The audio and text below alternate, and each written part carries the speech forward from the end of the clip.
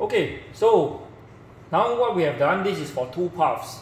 So for example, if you need to do a four paths, so right now what do we need to do? Uh, again, we are going to change the parameter. Uh, so over here, this is the parameter for channel A. The diameter is the same. Thickness is the same. And material is also the same. Uh, no lining. Roughness is the same. Water. Temperature here still remains. And then next what we will do at the measurement. Okay, so remember this is a channel A. Uh. Okay, measurement point number.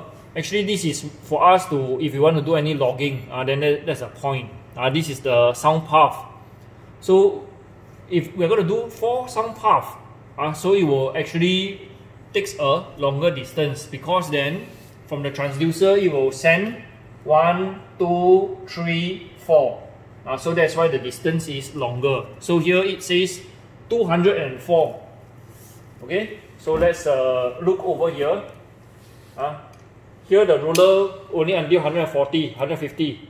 Uh, so if I want 204, all that I need to do, loosen it, you shift. Okay. I remember it's the edge here. Ah. So this is 100. Then the other side, I'll change. 204 mm. Okay. So right now I take it as my coupling coupling gel is enough. Uh. So let's check whether is it okay or not. Okay, so you come back to the transmitter after you have already adjusted your distance.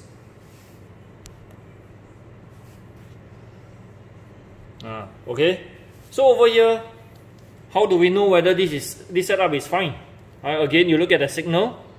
Uh, this is a high enough signal. LED channel is green.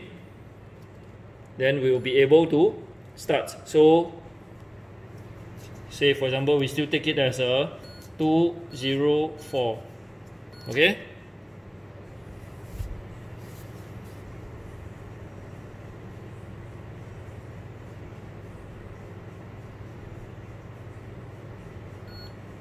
Okay, uh, successfully set up. So in this case, again, uh, there's no flow, 0 meter cube hour, green LED.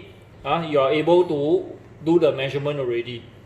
Yeah, so this is how you will do your mounting of the trans transducer, setup of your transmitter, you're good to go. Okay, good. Thank you.